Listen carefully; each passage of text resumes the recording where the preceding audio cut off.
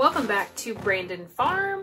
Today's super cold, so we actually had basically like a, a snow day, but in Texas that means it's an ice day. No work, no school, you're stuck at home, you can't go anywhere. So what do I do? I bundle up in all of my hunting clothes and I go to work in my greenhouse and in my garden and in my chicken coop. So a couple things that I worked on today. So I had a major draft in our brand new greenhouse. Um, when we put the roof on, it was basically like just running two by fours, which left a gap because of the corrugated um, vinyl has like a pretty big gap. And then when you sandwich the two together, it left a significant gap. So I tried plastic. I tried making my own pillows to shove up there. That way I can stop the draft. Um, I just, I would stand back after each one and be like, this is horrible. It looks horrible. And it's our brand new greenhouse and it's beautiful and I don't want it to be horrible looking. so I took all of that down and I came up with a new solution and I think it's actually going to work. Now, had I painted these beforehand, it probably would have looked prettier, but I didn't for a number of reasons. For one, it's freezing out and the paint would not adhere correctly because it's too cold. Um, also, I just wanted the draft fixed, okay? So maybe one day I'll take a paintbrush to it or maybe some spray paint or whatever and paint it black. But for now, I have no draft and it doesn't look awful. And it's warmer in here. So I think that's a win-win. Let me show you. Okay, right up here, you can see where I put the 2x4. There was a big gap right between the corrugated plastic vinyl and basically the 2x4 of the frame of the structure. So all I did was cut 2x4s to the perfect length in between the running 2x4s on the roof, put them all the way down, and it now has cut out the draft. I also added it to the back side. Now these I had to add on the back side, not the inside, or I should say the outside, um, because it had these 2x4s spacers and I couldn't get a good seal. So everything is fairly sealed up. And like I said, no more draft. There's just a little bit of airflow, as you can see, through the corrugated. But I'm to call that ventilation. So what do you think? I think it's to be great. I mean, this is not like a I do everything correct YouTube channel, right? This is a, I need to get it done. This is what my problem is. This is what I, I'm going to do to fix it. And this is how I'm going to do it. And then I get it done. Whether that looks beautiful, whether it's the, the right way or the proper way, it's done. My problem is solved. I can now work in my greenhouse comfortably, even though I've got all this crap on. I really could take this big jacket on, but I'm fixing to take you outside and kind of give you some more tips and tricks on chickens um, in this cold weather. Here in Texas, we've hit like lows of, I don't know, 23, probably lower than that at night. I don't really know. Um, it's really cold here. And we have this thing where it's like Texas snow, which is basically just ice. And what I like to call basically Dippin' Dots. So Dippin' Dots falling from the sky and they just collect on the ground and then they just freeze. So it's real chilly. The chickens are cold. Um, so I want to give you some just kind of tips and tricks on how to keep your chickens warm in this kind of environment. Now, I'm sure other people do it different ways. I'm sure there's many different ways, many right ways to do this. Um, but like I said, I had a problem. I knew what I needed to solve the problem, and I solved the problem.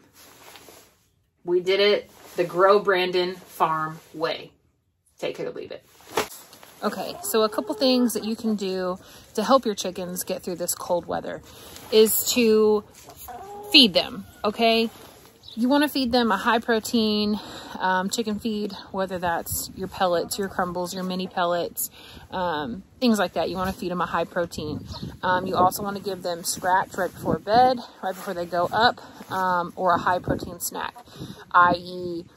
mealworms and sunflower seeds and well, I just have mealworm, sunflower seeds, and scratch. That's what I use, and it seems to be working. So I like to give that to them first thing in the morning, and I like to give it to them right before they go up for the for the night. Um, if you didn't know, chickens will automatically go up when it gets dark. And by go up, I mean they go up into their chicken coop. Even though I do have two chickens that will sleep on this outside roost. Don't get me started. I don't know how that happened. I don't know why they don't want to go up, but they don't. So anyway, tip number one, feed your chicken. Okay, tip number two, you want to have a heated waterer. Let me show you. All right, this baby right here is a heated waterer and it works wonders. Now, when I was first becoming a chicken owner, chicken keeper, um, I would come out here every night and I would unplug it and I would come out every morning and I would replug it. As the years went by, I got uh, a little on the lazy side because it's really, really cold out and, and it's dark and you just don't want to come down here, especially whenever you don't have work so you can sleep in. So I've just been leaving it plugged in and I've just got it plugged into this external um, extension cord and I've got it sealed um, with a weather connector, I guess you could say. Let me show you that. I have the heated water connected to this external outdoor rated um, extension cord extender. And then I have this weatherproof connector that just opens up and then you have your external uh, extension cord plugged into the other one inside here, protected from all the ice and the water. And it's working like, like a charm. So as you can see, the water is not frozen. It is well thawed out. There we go. So I have plenty in there for them. And I just use this one. I think this is a five gallon. Uh, I don't know how big this one is, but I only have the one for 23 chickens and it works fine. That blue bucket back there is solid frozen. Another thing you want to do or to kind of be mindful of when having chickens in the cold weather is drafts. You don't want a lot of drafts. Really don't want you don't want any drafts in your chicken coop. So right here we had a big draft. Um, this was our kind of eave to um, our chicken coop and we just zipped some screws down to hold that down so that way that there's not a big draft. Um, one way to tell my opinion, the only way to tell if there's going to be a draft in your coop is to get in the coop. So I actually have to get in right here through my big clean out and I'll just sit in there and kind of just wait a minute so that way I can feel if there's any drafts coming through. Um, you do want ventilation. You don't want to seal it up completely, but you don't want major drafts coming through because that would be like a frostbite issue on their combs and their wattles and that's not good. One thing that I did this year that I hadn't done in years past, and I feel like now looking at it would be like a rookie mistake. Talking about drafts, um, well, right along here, I just have chicken wire. So basically from the roof to my metal sheeting down here, right in this little area was all chicken wire.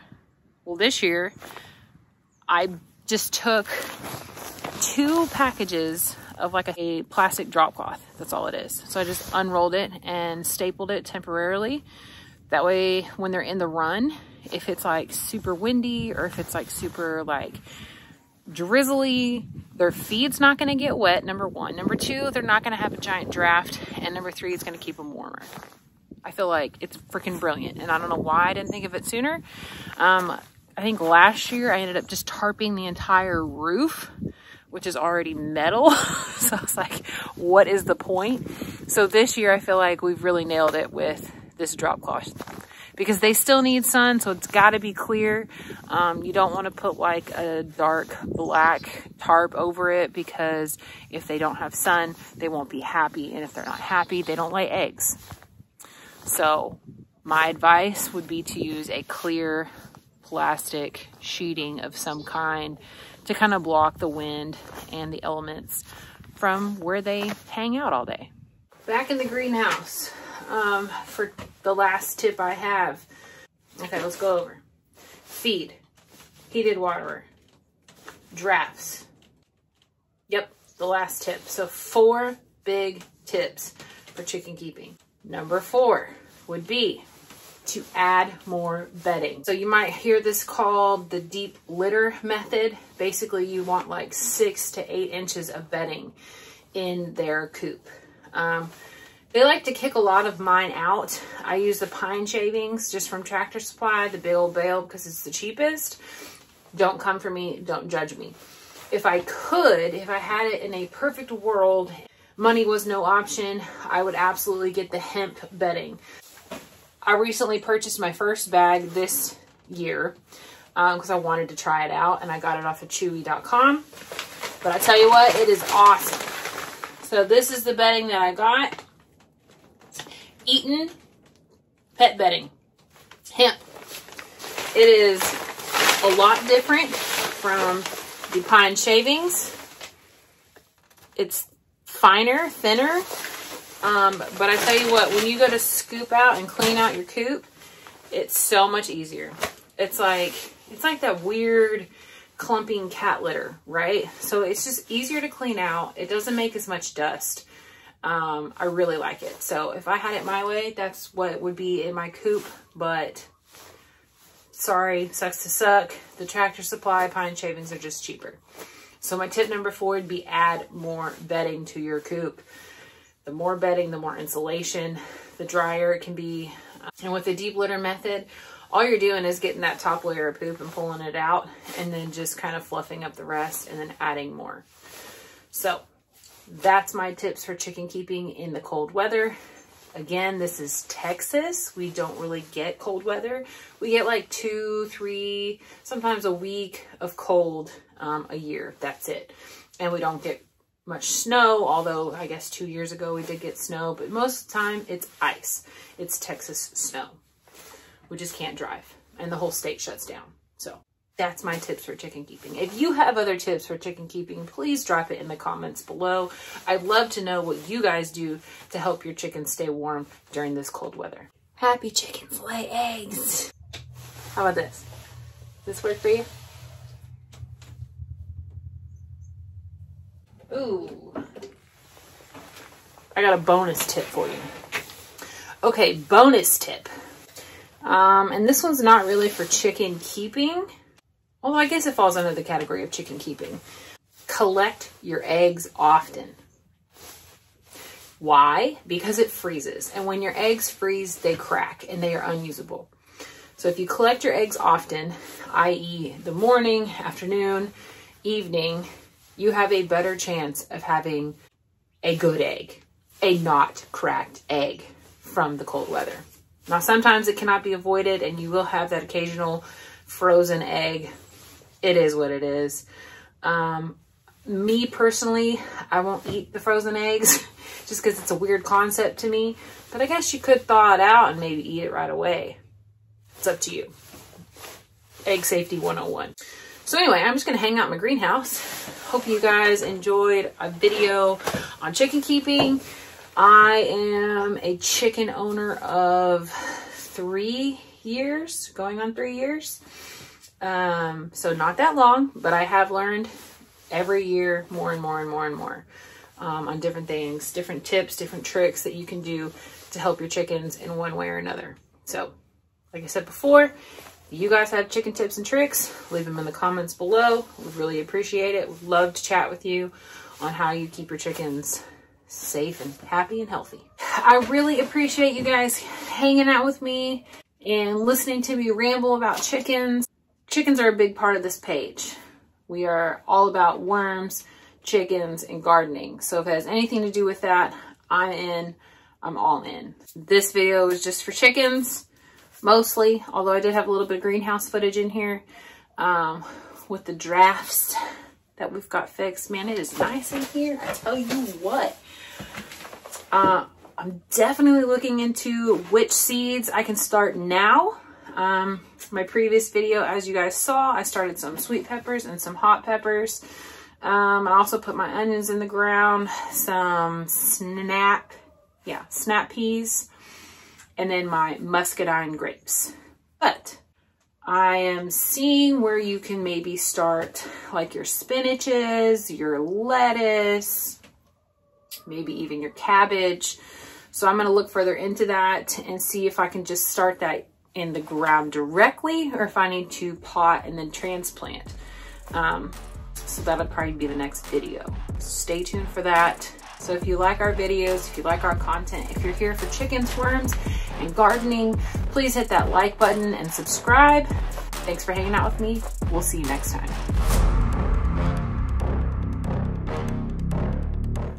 Put these eggs in my jacket pocket without my jacket being on. How much you want to bet I crack them whenever I put it on?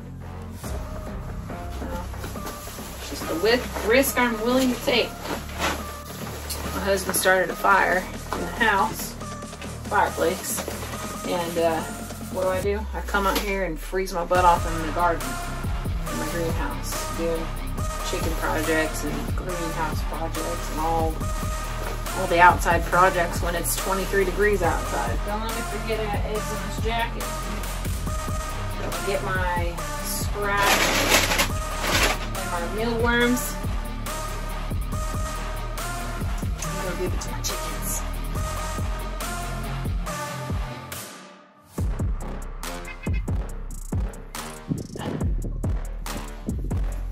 Okay. Someone's honking.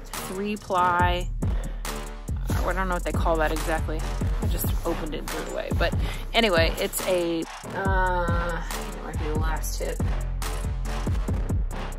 Okay, let's go. My eyelash.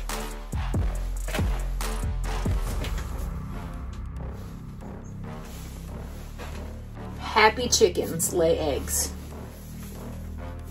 Because I almost dropped one. Well, I can't carry it that many in my hand anymore. Plus my hands are kind of cold. Anyway. Freeze frame.